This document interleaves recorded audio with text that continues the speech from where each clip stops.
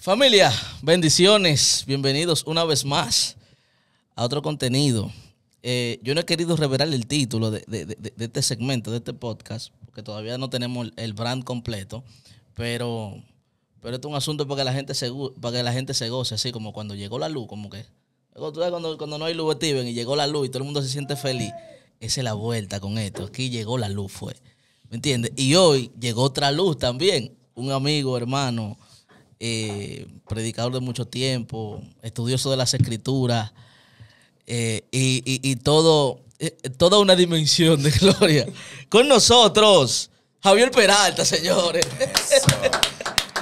Dime a ver, Javier, ¿cómo tú estás? ¿Cómo te sientes? Todo bien, mi hermano. Ahí, te ahí, ahí sí tú podías aplaudir. ahí. Ahí sí, ahí sí, no, pero aplaudí. No, bajito, No, no, pero nítido, tranquilo. ¿Cómo te sientes, manito? Todo, bien, mi hermano, todo bien. Contento. Qué bueno, qué bueno, qué bueno, qué bueno. este tiempo. Qué bueno. Javier, eh, te traje eh, porque eh, hay un tema interesante que quiero tratar contigo, que es un tema que se va a repetir aquí en esta plataforma. O sea, frecuentemente vamos a hablar de este tema hasta que se haga conciencia de este tema. Sí.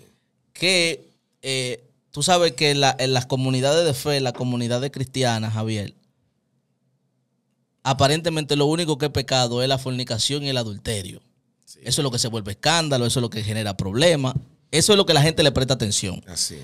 Ahora bien, la mentira parece como que ya Dios, como que ya Dios dijo, no, la mentira no es problema. A tal punto, a tal punto que vemos fenómenos que podríamos catalogarlo como mitómanos, o sea, gente que tiene un impulso patológico para hablar mentira. Sí, sí, sí. Siento falto de Javier. Eso es cierto. Eso es cierto. Y son muchos. Sí. Son muchos. Yo diría que, wow, desde cuando se empezó a mostrar el testimonio como un boom en los ministerios, Ahí es que está el punto. desde ahí comenzó el, el corre-corre. Yo Porque- quiero, yo quiero llegar ahí, pero más, más, más para adelante. Más pero para fluye, fluye, fluye, fluye. Sí, lo que pasa es que, de hecho, hay gente que entiende que si tú no tienes un testimonio poderoso, tú no estás en la onda. O sea, tú no eres un monstruo, un predicador grande liga. Exactamente. Entonces, eh, la gente en tiempo atrás lo que hacía era que se descarriaba.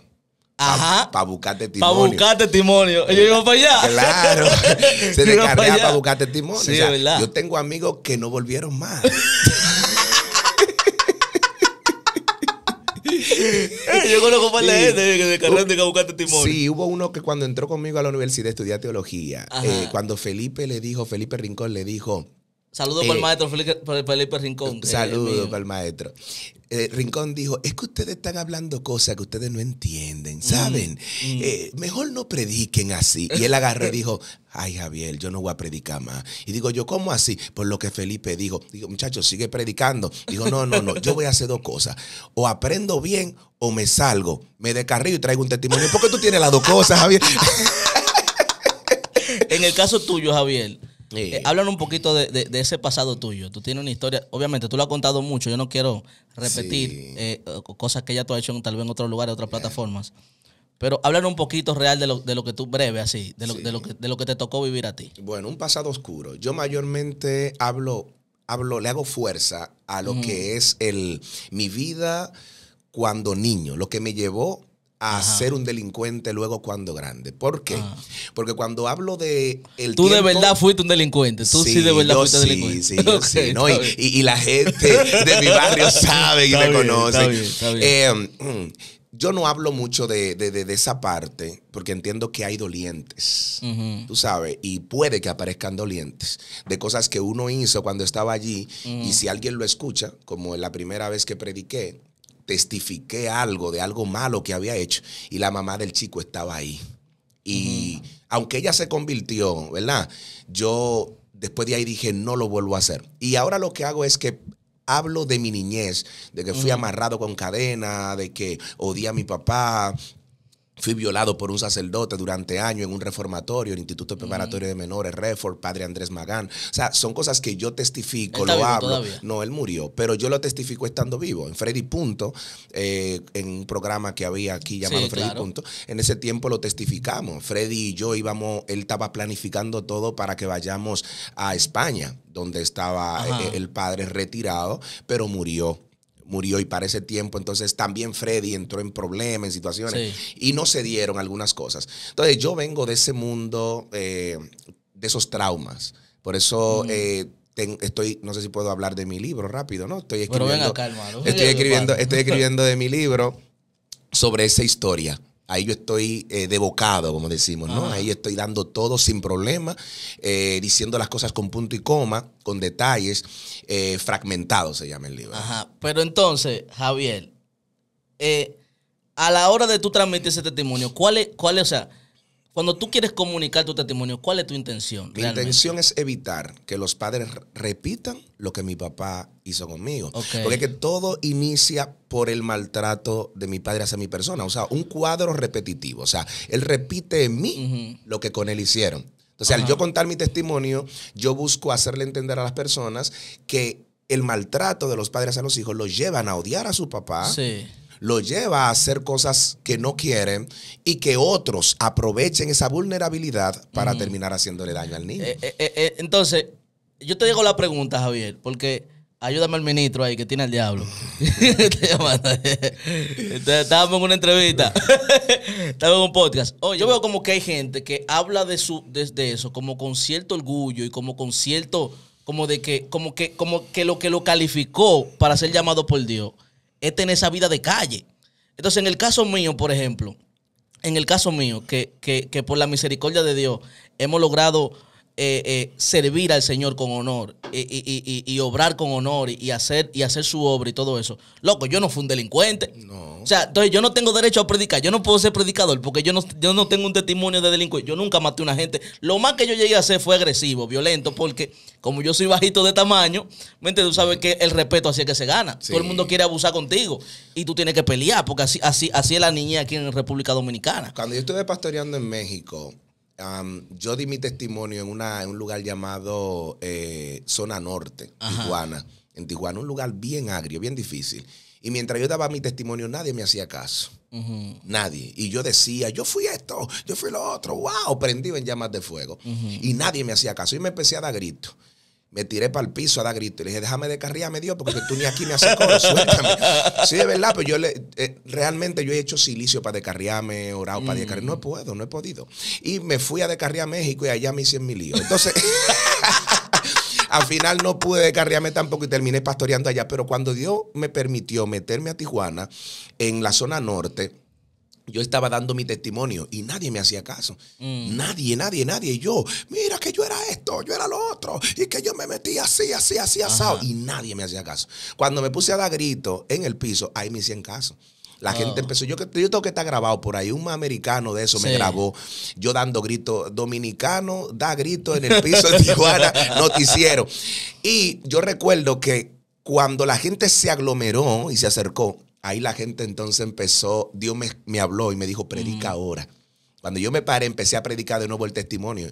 Y yo escuché la voz de Dios, la voz del Espíritu que me dijo, eso no. Sí. Oye lo que me dijo, eso no. Sí. Y yo le decía, Señor, pero ¿cómo eso no? ¿Y qué predico? Y me dijo, el mío, mi testimonio. Digo yo, pero mi testimonio es el tuyo. Y me dijo, no, no, el tuyo, el tuyo, el mío, el mío. Yo le dije, ¿cuál es el tuyo? Me dijo, dile que yo morí, resucité al tercer día y vencí la muerte. Cuando empecé a predicar eso, la gente entonces empezó a dar gritos y a acercarse más. Recuerdo que convirtieron cienta y pico de gente ese día. Luego pregunté y dije, ve acá, ¿por qué no me hicieron caso? Cuando yo predicaba mi testimonio y una gente me dijo, el que menos ha hecho aquí ha hecho menos, el que menos ha hecho aquí ha hecho más que usted. claro. Me dijo. Y yo le dije, entonces, ¿por qué el testimonio de la muerte? Me dijo, adoramos la santa muerte. Y tú estás diciendo que la santa vida venció la muerte. Entonces, ¿qué te digo con esto? El hueso. ¿Tú estás viendo esa profundidad? Claro. Eh, entonces, ¿qué yo estoy diciendo con esto? Que nuestro testimonio a veces, a veces sirven, pero sirven es en el área donde nosotros algo fuimos. Exacto. Porque muchas veces tú vas por otro sitio a testificar cosas que al final no dan resultado. Los resultados fuertes están en el barrio donde tú, que te vieron en verdad. Sin embargo, muchos no quieren testificar ahí. Yo conozco una, yo conozco a una que dice que resucitó de entre los muertos. Que nadie, que cuando tú vas al barrio, dicen, en verdad. ¿Y cuándo fue eso? Dice que ella duró una semana muerta. Y tú vas al barrio y pregunta que si eso es verdad. Dije que no, y ella testifica que había gente ahí. Y, YouTube, YouTube se ha prestado para eso. Porque tuvo Los cazadores de un, muertos. Un tro de gente de que, que viajaron a Haití en fósforo, Exacto. que se convertían en gato y en perro. No, no. Que y, sí, o que y Yo- yo lo eso. del inodoro y la cosa. los ¿Cuál es, ¿Cuál es demonios. ese de los dinosaurios? Oh, y la que anda por ahí diciendo Ah, que los demonios. La hermana Stephanie sigue este contenido. Oh, pero vende- por- ay, porque hay que traerla. Ah, pa- pero hay que traerla para que yo explique ese hay que- misterio. Eso misterio hay que escucharlo. Porque entonces hasta, hasta ahora mismo, para mí ya está dentro del grupo Es verdad, de los mitómanos. de los mitómanos. Sí, porque es que eso es una falsedad. ¿Qué es un mitómano, eh, eh, eh, eh, Javier? ¿Qué es Un mitómano es una persona que miente por naturaleza, ama el mentir, se asocia con su mentira y la cree verdad. Y se la cree, porque hay- hay- yo te digo, porque, por ejemplo, uno sabe que hay predicadores que, que para impresionar, tiran su testimonio que son mentiras. Y danzan y hablan en Y lengua con danzan y hablan en lengua. Pero, pero, Y el, míralo ahí, míralo ahí, míralo ahí, míralo ahí. el problema que yo veo realmente, el problema que yo veo realmente, es cuando ya se, se apagan las luces. Estamos, estamos fuera de cámara. Cuando llegamos a la casa. O yo estoy, ta- estamos comiendo en un restaurante. O estamos en otro lugar, ya en un lugar íntimo. Íntimo. No hay público, no hay cámara. Y tú vienes y me dices, pues sí, eh, eh, eh, yo recuerdo hace como cinco años que yo estaba orando por la, reina, por la reina de Inglaterra. Y ella me decía, eh, varón, usted, usted tiene como una unción extraña. Óyeme, y la, y, la, la- la sierva comenzó Exacto. a sentir atracción. hacia- Oye, la reina de Inglaterra. La Oye, y te lo está diciendo Sí. con una naturaleza que tú dices, pero ven acá. Sí, porque cuando se lo creen, cuando se lo creen, automáticamente ellos te hablan con tanta seguridad de eso que tú terminas creyéndole el asunto, aunque todavía tú lo ves como casi imposible. Tú de una vez dices, no, pero Dios lo puede todo. O sea, no, es una locura.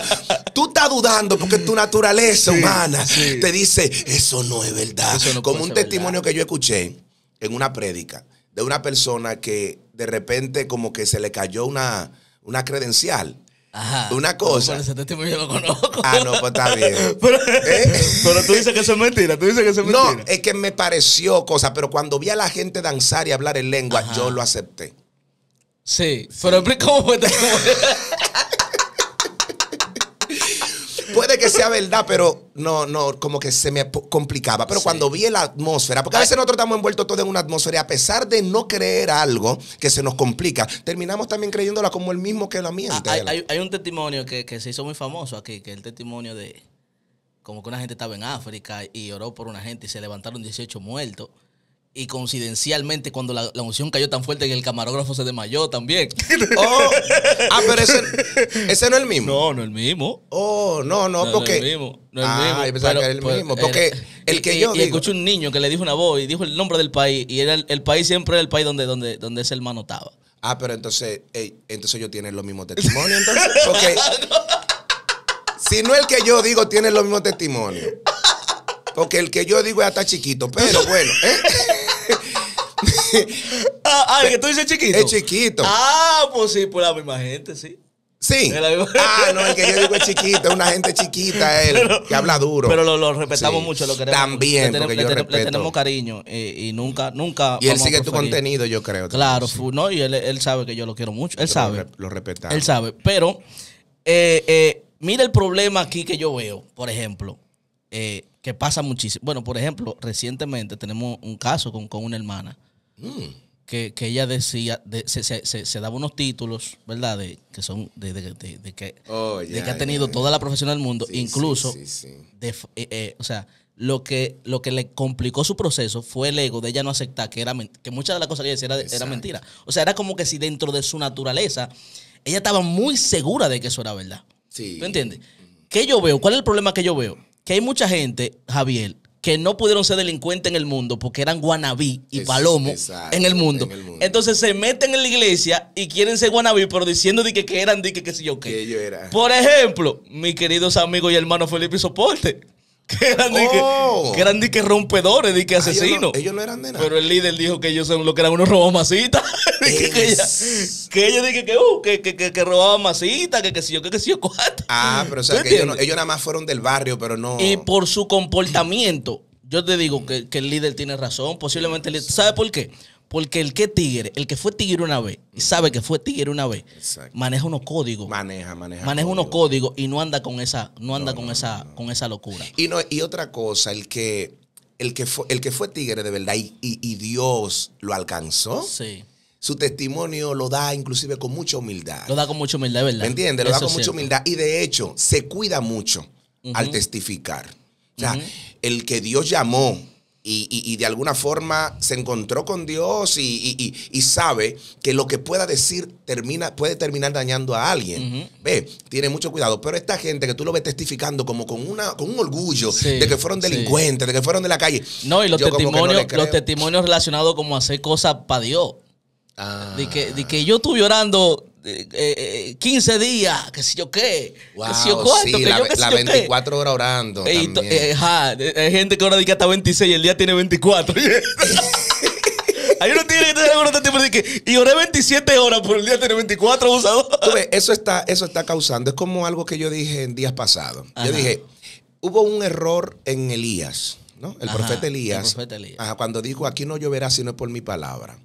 Eso ha creado en el, en el que interpreta mal el texto, que no entiende que Elías cometió un error ahí.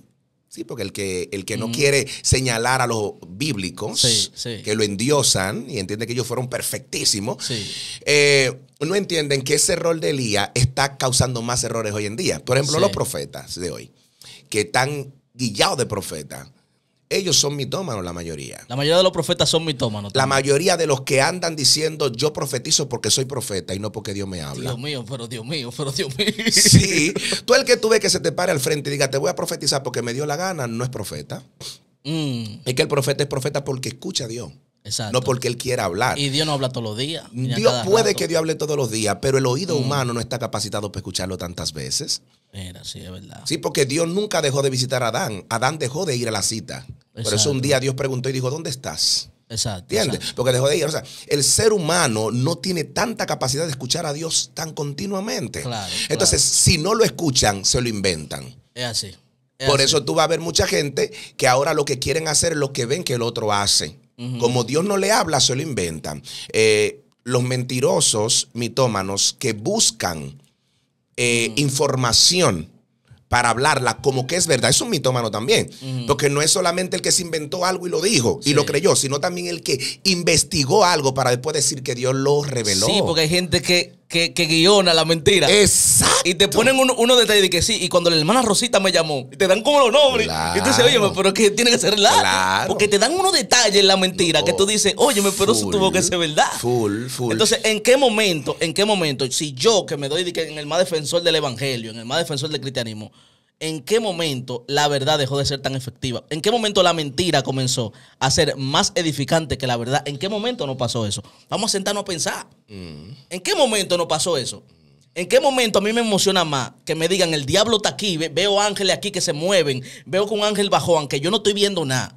¿En qué momento eso dejó de ser más edificante que yo leerte un texto de la escritura y explicarte lo que Dios nos está diciendo a través de eso? cuando la ¿En qué momento pasó eso? Cuando la gente empezó a amar la danza, la habladera en lengua, la saltadera de todo el mundo.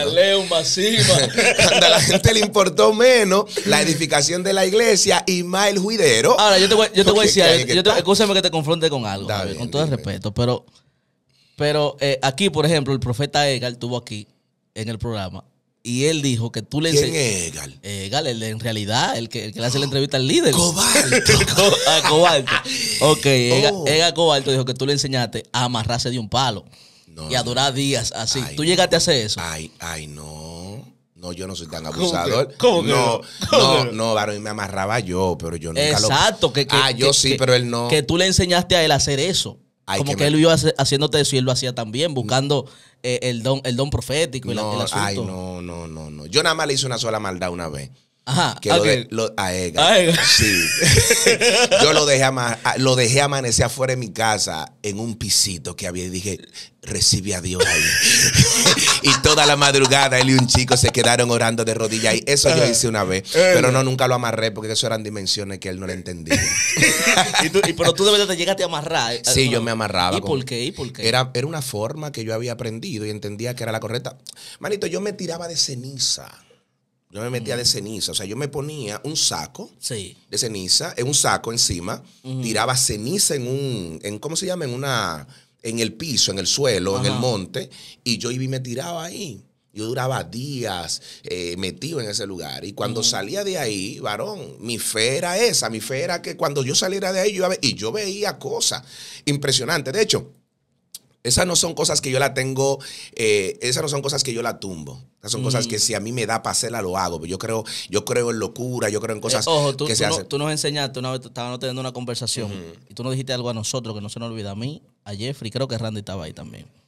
Tú nos dijiste, lo que te funciona, tú no lo puedes dejar. No, si la no oración te lleva don- donde tú estás, ¿por qué hay que dejar de orar ahora? Exacto. ¿Por qué hay que dejar de estudiar la- las escrituras? Exacto. ¿Entiendes? Eso es importante. Continúe. Entonces, yo eh, lo hacía continuamente porque eso fue lo que me enseñaron. O sea, el que fue mi pastor, yo lo veía hacer eso y luego yo lo veía en las campañas, varón, que los demonios, ese tipo lo llamaba y le decía, ven raneando, ven por el suelo. Ese Sí. tipo veía una gente endemoniada, aún que, a que a 100 metros. Y ese tipo le decía, el que tenga el palo de luz allá, ven Sí. como culebra por el piso. Y el tipo venía hasta ahí. Y cuando llegaba frente a él, el tipo se paraba así como una culebra o la tipa, quien sea. Sí. Luego que yo vi eso, yo lo creí. Me metí en el mismo mover y lo empecé a ver. Mm, Lo empecé a ver. Entonces, lo vi efectivo, lo vi bueno, lo vi correcto. Y lo empecé a hacer y no tengo problema con volverlo a hacer. Pero ¿cuál es la relación que hay entre el sufrimiento del cuerpo y la espiritualidad? ¿Por qué si yo sufro en mi cuerpo soy más espiritual? ¿A qué se debe? ¿A qué tú entiendes que Eh, se debe eso? no, yo no digo que sea un, yo no digo que sea causar sufrimiento. ¿Me entiendes? Más bien, no sé si tú observaste en estos días algo que hizo Israel Garavito. Israel Garavito se raspó la cabeza completa. se Ah, yo lo vi, todo. yo lo vi, sí. lo Eso vi. es, eso es, eso es algo que él hace conscientemente, naturalmente, como si fuera simbólico. ¿Me entiendes? Entonces, yo hago esto simbólico y automáticamente, aún mi mente, mi conciencia entiende que hizo algo que normalmente yo no haría. Eso hace que yo sujete lo que soy. Es Eh, como eh. un control, una disciplina. Yo, eso es lo que yo creo. Exacto, Por yo, en- va, por exacto, yo entro en un control, entro en una disciplina y el mundo espiritual que está abierto continuamente, yo tengo más acceso. No porque me gané Claro. el lugar, no porque me gané el territorio, no fue un trueque, ayuné para esto, no. Es una disciplina que yo hago conmigo mismo, con mi humanidad y eso me da acceso a Claro, al por mundo ejemplo, las escrituras dicen que aquel que controla su lengua, exacto. controla todo su cuerpo y Naturaleza. Dice, que, dice que es varón perfecto. Ah, exacto.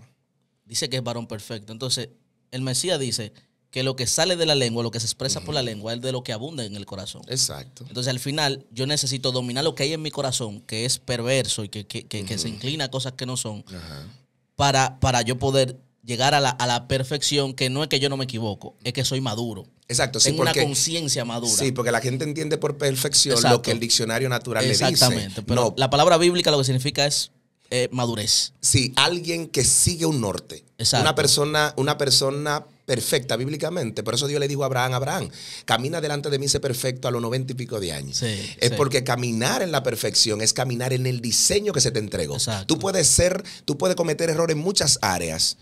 Y el hecho de tú caminar en lo que se te llamó justifica los errores de las demás áreas. Exactamente, exactamente. Y no Pero te los griegos usaban esa expresión que, se usa, en la- eh, que usa Pablo en las escrituras, de perfección, para referirse a los alimentos que estaban en su punto perfecto para ser ingeridos. Exacto. O sea, estaban maduros. Maduro. ¿Me entiendes? O sea, la, la- la idea va por ahí. Entonces, la de- yo ayuno. En la gente que hace, yo no hago silicio ni matado, ni que, ni que me paguen. Yo no hago Exacto. silicio. Porque yo no, eh, a mí, yo, es, es- esa, esa, esa disciplina la no, Pero el que lo hace dice, pero me funciona. Claro, te funciona. Pero ayuna, Feli aquí no ayuna. yo ayuno, claro. Yo ayuno. Yo ayuno. Yo ayuno. Bueno, no, no tengo ni que decir eso. pero No, no, no, no, no voy a esa información. Eh, no, Eh, como dice Rochi, no manejo esa mane- información. Pero yo ayuno frecuentemente. Ok. Yo creo mucho en el ayuno. Y, y he tenido unas las experiencias espirituales mías, realmente, yo le he tenido ayunando. eh. Ayunando. Eh, Es que cuando, eh, así, es sobrenatural. que cuando ese ayunando. cuerpo entra ahí, en ese, ¿verdad? En ese control. Sí. ¿Verdad? sí. Entonces se te abren, el mundo espiritual se abre. Ahora es Sí. complicado también, porque no se abre nada más positivamente, sino que aún negativamente también se abre. o sea, las guerras que vienen, además de las bendiciones que tú esperes espiritualmente, las guerras que vienen también. Por eso yo recomiendo que el que va a entrar en algunos tipos de sacrificio como esto, antes Mm. de entrar en ellos, alimente bien su conciencia. Exacto, porque es desde ahí. Es. Por ejemplo, el iluminado Jay que está allá afuera, ¿qué, qué- qué él testificó aquí? Que él duró tres días de ayuno y cuando llegó a su casa se, se maturbó. Claro, Llegando a su no, casa. Es que la guerra es peor. Porque, porque él lo que, está, él lo que estaba era él no tenía la conciencia No de lo que estaba haciendo. que Él no estaba haciendo un ayuno para disciplinar la mente, que en esencia para eso el ayuno, para tú someter tu mente a la voluntad de Dios, para tú doblegar tu voluntad a la voluntad del Eterno. Exacto. ¿Me entiendes? Entonces los mitómanos de hoy Ajá. no quieren hacer nada de eso. No, no, Ellos lo encontraron fácil. De hecho, yo te voy a decir una cosa. Hay muchos que puede que la situación de mitómano haya nacido con ellos, una especie de un trauma o lo que sea, pero hay otros que lo adquirieron. Lo adquirieron. Pero espérate, ay, espérate, te metiste en una vaina peligrosa. Sí. ¿Cómo lo adquirieron, Peralta? Lo adquirieron cuando observaron ahí está. que era mejor eso que se vendía, Y más que la gente que es más rentable. O sea, yo soy, va- va- vamos a ponerte el ejemplo. Yo soy un chamaquito que no tengo identidad. Y yo me acerco a Dios porque yo no sé quién soy. Exacto. Y ese vacío de que yo no sé quién soy me acerca a una iglesia. Y yo comienzo a ver una gente que está predicando. Yo digo, yo puedo hacer eso, yo puedo predicar. Pero esa gente tiene unos zapatos durísimos, tiene una correa durísima, tiene una chaqueta durísima y anda en una máquina durísima. Sí. Yo me meto a su Instagram y está viajando a todos los países del mundo. Tiene un perfume durísimo.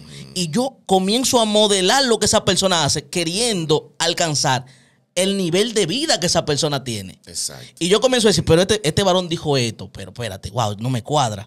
Yo necesito algo así, aunque yo no sé si es verdad o mentira, pero yo necesito algo así. Exacto. Y comienzan, son guanabí. Pero la palabra que le cabe a ese tipo de gente es guanabí. Guanabí. Son guanabí. Incluso hay gente que le copia los testimonios a otro. a otro- lo- tal cual. El mismo testimonio lo coge para ellos. Y si no te copian el testimonio, te copian el mensaje tal cual. No, eso, eso, eso pasa mucho. Eso también. pasa mucho Eso pasa también. mucho también. Pero eso no es nada, ¿verdad? Pero yo creo que eh, eh, eh, me una predicación Con no, punto y coma, yo creo que, que no está bien. tú, no, tú no darle tu esencia. No darle tu esencia es un problema. Es un problema, pero en el, en el- en el- ya en el ego del predicador. De En el del predicador. Sí, de- de- del- del predicador, porque al final, al final. Es palabra de Dios. La palabra que, que yo traje, ni siquiera es mía, a mí me la, a mí me la mandan, fue. Sí, pero yo creo que la palabra de Dios solo es la que está escrita. La demás es la, es la Bueno, rema, el, la mensaje, revelación. el mensaje, el Sí, mensaje, el mensaje, sí. el mensaje que yo traje, me lo, me- a mí me lo dieron. No, Es- yo entiendo exacto. que no es mío. Te lo dieron, te lo dio Dios. Pero a él, ¿quién se lo dio? Por ejemplo, la gente, eh, por ejemplo, tú, tú me conoces en esa área de, de la predicación, Sí. pero la mayoría de la gente no para, me conoce. Para mí, y siempre lo testifico Sí, por tú ahí. siempre me lo has dicho. Para mí, tú eres uno, un 1A a nivel Amén. de predicación. La gloria, Baruch Hashem. Baruch Hashem. Pero, pero, pero la mayoría de la gente no me conoce ahí. No, no te conozco. Entonces hay gente que yo me he dado cuenta. Ustedes creen que yo me doy cuenta, yo me doy cuenta. Hay gente que como sabe que la gente no, no, no, no me conoce mucho ahí, me copia la prédica. Me copia. los lo, lo, lo, Claro. punchlines y toda la vaina y lo predican por ahí. Claro. Entonces cuando tú lo escuchas a los dos, tú dices, wow, pero Felipe aquí no le copió eso a fulano. Porque Claro, porque a no lo han- predicador. porque a no lo han escuchado tantas ¿Tú veces predicando. ¿Tú entiendes lo que te digo? Claro, yo ¿Tú entiendes lo que te entiendo. digo? Yo entiendo. Ese, ese, ese, ese, ese es el problema. ¿Cómo tú entiendes que se corrige eso y se sana eso, Javier? El, el, la- el problema de la, de la mitomanía en, en el pueblo de Dios. aceptando, aceptando, número uno, que si yo continúo con las mentiras que doy, pierdo credibilidad, pierdo el mensaje, pierdo la gente, pierdo al público, ¿verdad? Que es- me sigue por lo que yo tengo de parte de Dios. Entender la gravedad, porque cuando tú eres mitómano, cuando tú eres una persona que miente bastante, tú alejas a la persona, so- no solo de ti, tú alejas a la persona inclusive de Dios también. Sí. Entonces, si en verdad amamos a ese Dios que decimos predicar eh, y, y- y amamos eh, lo que Dios va a hacer con nosotros y que quiere hacer con nosotros, entonces nosotros deberíamos pensar en cuánto daño le estamos nosotros haciendo a eso. Entonces, cuando eso lo entendemos, lo aceptamos, porque ahí es que está el punto. El Sí, mitómano no quiere aceptar, como la joven que hablábamos, que tú mencionabas hace un rato. O sea, no quieren aceptar, se, se casaron con su verdad y no se quieren, con su mentira, su perdón, y no se quieren divorciar de ella. Eh, yo opto por un milagro con el mitómano. De o, que, sea, sí, o sea, en, en lo- en la, en la campaña del milagro tenemos que levantar la mano. Todos aquellos que sufren de hablar habladuría, Debería- habladores. debería Levante su mano, vamos a orar por ustedes. debería estar en la lista de los milagros. Testifique. ¿Qué, qué Dios hizo con, con usted? Yo era un hablador y ya no miento. ¿Quién lo hizo? Cristo. Sí, por- Tiene que pasar. Sí, porque el asunto es que el, el mitómano, el mitómano entendió que eso le dio resultado y le dio dinero. Y cuando el mitómano deje de testificar eso que está diciendo y deje de ganar lo que está ganando, eso le está bloqueando la cabeza. Entonces, al final del día, Javier, el problema real ni siquiera es tanto el mitómano. Mm, El problema es la audiencia, la audiencia. que lo aplaude y dice amén. Tú sabes que tenemos, tú sabes que, tú sabes que esto es largo. Esto sabes- es largo, esto- no, estamos- no- no pasamos de tiempo ya. Sí, tú sabes que la audiencia, la audiencia es inocente en su fe muchas veces. es inocente en su fe. muchachos. Pero, pero 20 años inocente en su fe. 15 Sí. años inocente. ¿Pero y por qué? Es que, eso, es que eso no puede estar bien, Sí, Javier. Sí, yo lo que creo no es. puede estar bien, no, no, yo lo que creo es que lo que educamos debemos empezar a parar a esa gente. Porque la responsabilidad ni siquiera está cayendo sobre el pueblo. No, acuérdate que nosotros tenemos dentro de una iglesia, como pastores que somos, tenemos a un grupo que es líder, que está educado, que está enseñado, que está cerca de nosotros y hay un grupo que es iglesia, que va a sentarse ahí ya y se acabó. Entonces, sobre quienes cae esa responsabilidad de los que se nos paran en el altar a decir sandeces y mentiras, es sobre nosotros, los líderes. Entonces, nosotros somos los que tenemos que cuidar a ese pueblo que simplemente está corriendo al altar o está corriendo a una iglesia a creerle a Dios sin tabú, mi hermano, sin limitaciones. ¿Me entiendes? Y hay gente aprovechándose de eso. Entonces, O sea, tú- hay gente que se está aprovechando del hambre de Dios que tiene que tiene la gente. Y la exacto, necesidad. y la necesidad. Bien. Entonces, nosotros como líderes, como pastores, evangelistas o lo que sea, o líderes eclesiásticos que estamos formados, cuando vemos eso, no debemos seguirlos invitando solo porque queremos ganar gente, ¿entiendes? O tener gente allí eh, eh, creyéndole a lo que sea, a mí no me importa. Como hubo uno que dijo una vez, por, por un profeta, me voy a reservar el nombre, le profetizó, y él agarró y dijo, yo no sé si es Dios el diablo que te usa, pero lo recibo.